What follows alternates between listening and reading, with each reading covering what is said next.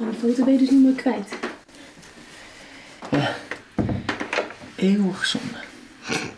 Eigen schuld. Ach, ik heb het allemaal opgeslagen hoor. Klootzak.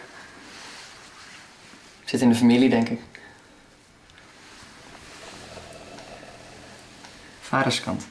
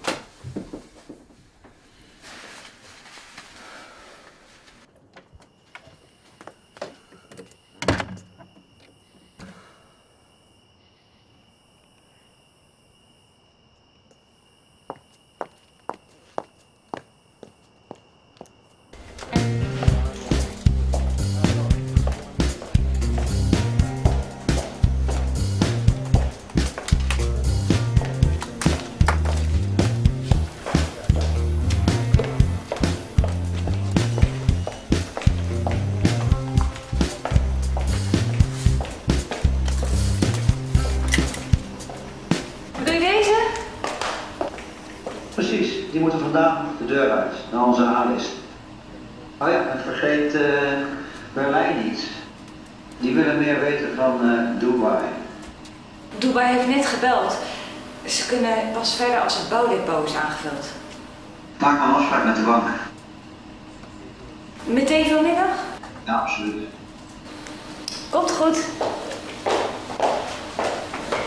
Maaike, waar is Remco?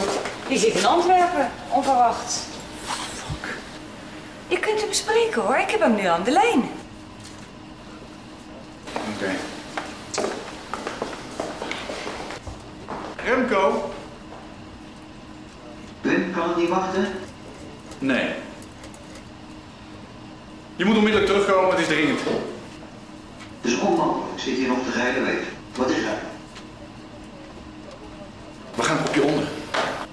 Fred heeft net de kwartaalcijfers terug en met cijfertjes? We werken, projecten, aan visie. jij met je projecten en je visie. Het loopt hier hartstikke fout, man.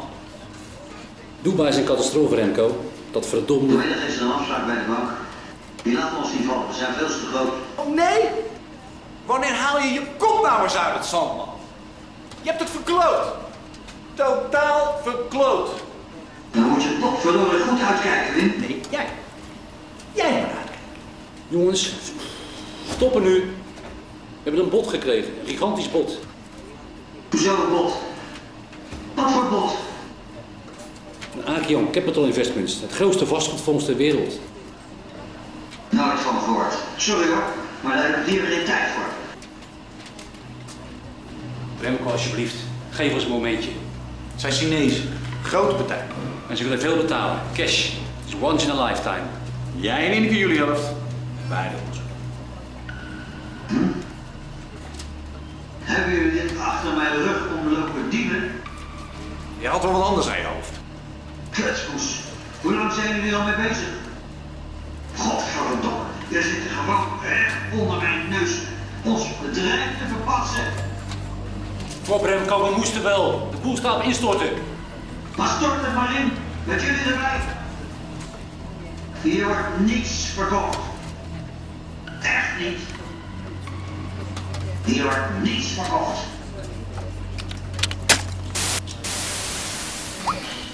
Dat ging niet zo goed. Fred, nu begint het pas.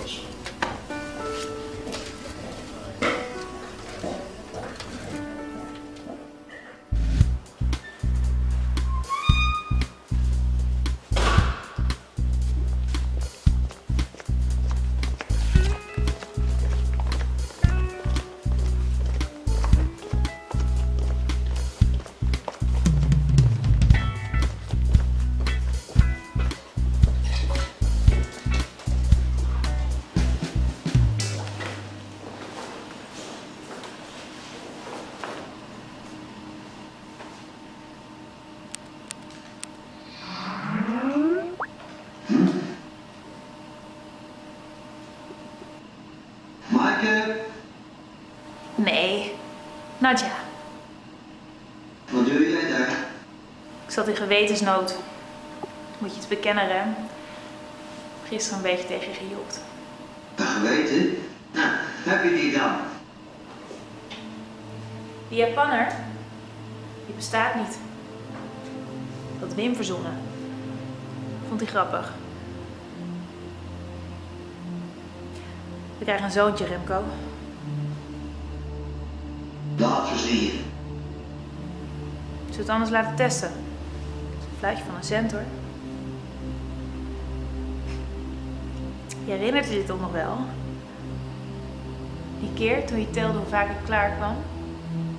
Acht keer. Toen.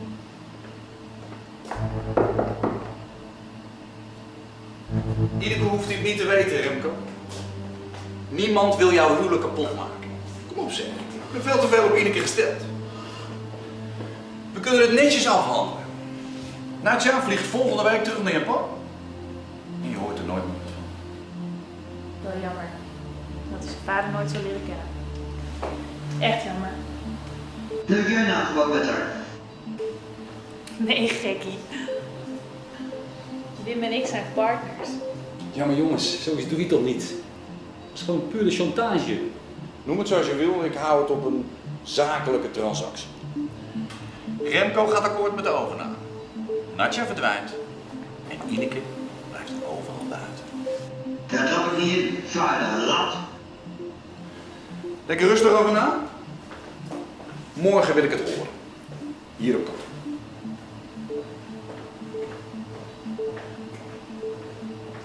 Remco, sorry, ik wist er niets van, van Natja. Maar die Akian groep is wel een hele goede partij.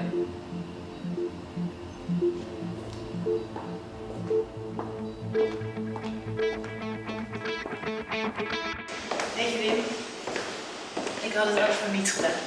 Werkelijk? Het was geweldig om hem zo te zien. Als een konijn. Koplampen. ik ooit die man gezien heb. Geen idee. Hij behandelt vrouwen als speeltjes, maar dat had ik je van tevoren kunnen vertellen. Vast. Ja. Als jij nog zo'n speeltje nodig